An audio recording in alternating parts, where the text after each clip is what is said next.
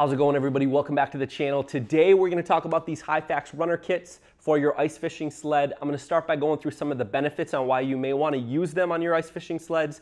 And then I'm gonna give you some quick tips and tricks to get the install done easily and quickly. Let's get started. All right, so what are the benefits of having Hyfax on your sled? First, it protects the bottom of your sled and extends the life of the sled itself, as the Hyfax will wear before the sled and can be replaced if necessary while still using your original sled.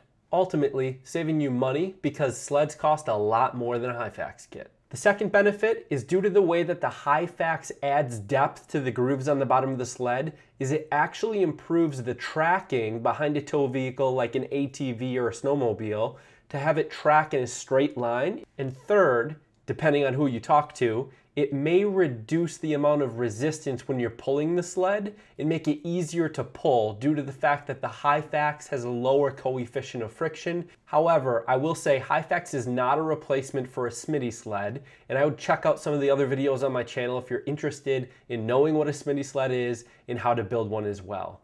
Where can you buy Hyfax? In the description of this video, I link to a few places where you can buy the specialty kits that are made specific for each manufacturer, like Clam and Otter Outdoors, that are cut to the right length, have the holes pre-drilled, and come with the hardware needed to do the install. Here's a few tips to keep in mind while you're going through the process. First, it's easiest to install Hyfax on a sled that hasn't been built into a shack yet or had any modifications done to it. When you have just the tub itself, it's a lot easier to move around, flip over, and access the screws and the nuts on either side. Second, if you can, try to do the install in the summer months or in a heated garage or a heated environment where the Hyfax has had time to warm up and is more flexible. You can use a hair dryer or a heat gun for a short period of time. You don't want to overheat the Hyfax when you're bending it over the slope on the front of the sled. And third, you want to use a drill bit that's smaller than the screw itself so that way when you're putting them in, they actually grip and hold onto the plastic so that way they're not falling in and out as you're flipping the sled back and forth. All right, tools you're going to need for the install. A drill with the drill bit. I used a 7 64 inch drill bit for my Otter kit. A driver with an Allen bit or an Allen wrench, I use size 1 8 inch, a nut driver or a socket connected to a driver or a ratchet. I use size 3 8 inch and a hammer. Okay, so the first thing that you want to do is grab your Hyfax. If you buy one of the kits, they usually come with the hardware in it, so all the guesswork is done for you. Next, what you want to do is tilt your sled up against a wall, so that way the grooves where you can put, if your sled has them, the Hyfax pieces directly into. The grooves are at the top. It's gonna be easiest if you can jam it in there. So once you have your first Hyfax piece, it doesn't matter where you start. You're gonna wanna jam it into the groove at the very top. So make sure it's as far up as you can get it into that groove.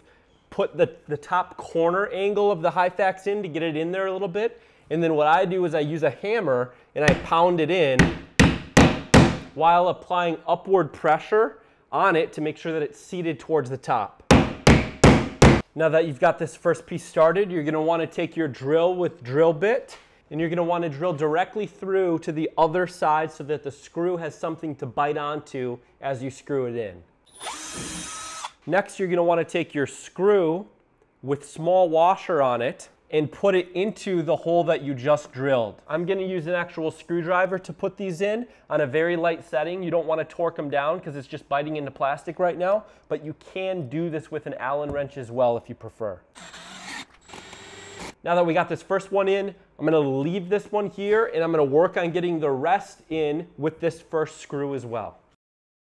We're now gonna turn it over still leaning against the wall and we're gonna tighten down the nuts on the other side of these so that way they don't pull out as we apply the rest of it with screws and drilling. So the first thing that you may notice is there's some plastic that is around the screw threads. What you want to do is pull some of that plastic off so that way your washer and nut can seat all of the way. So I'm just going to take a little razor blade and cut off that little piece of plastic.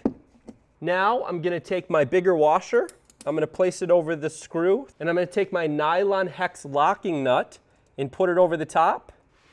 I'm going to use my socket, put it over the nut and tighten it down. And now I'm going to do that with all the rest of these first screws. Now that we've completed the first row, we're gonna go ahead and flip it back around. So we'll go ahead and bend this down.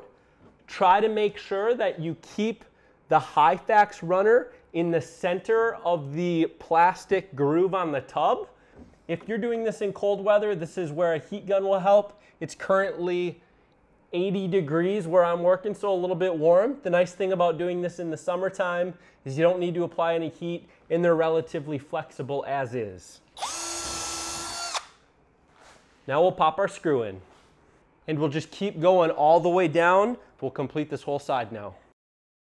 Now that we have those screws in to all of the runners, we're gonna go ahead and flip the sled over and finish it off with the nuts. And just like that, we're done. Thanks for checking out the video today. If this video helped you out at all, please hit the like button. And if you wanna see more content surrounding the sport of ice fishing, please consider hitting the subscribe button. And until next time, take it easy.